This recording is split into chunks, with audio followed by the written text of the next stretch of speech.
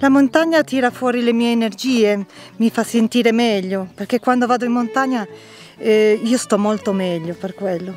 Della montagna a me piace tutto perché puoi incontrare degli animali bellissimi, poi i fiori che ti, che ti impressionano, dove puoi vedere anche nuovi tipi di fiori.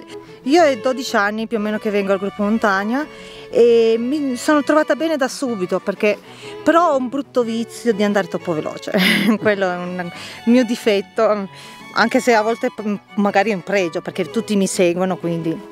Io eh, sento molto la fatica in montagna però è quello che mi sprona ad andare avanti perché voglio sempre arrivare in cima per dire che anch'io sono lì. In pratica io ce l'ho fatta arrivare in un posto dove magari altre persone non ci possono arrivare mi ha spronato questo gruppo a essere ancora ogni volta più forte e più allenata. Sì, mi piace sorpassare i limiti, mm, come dice Seba purtroppo eh, deve sempre calmarmi perché io sono sempre la prima mm, e, e, quindi a volte magari dà anche un po' fastidio ai maschi perché purtroppo una donna davanti... Eh.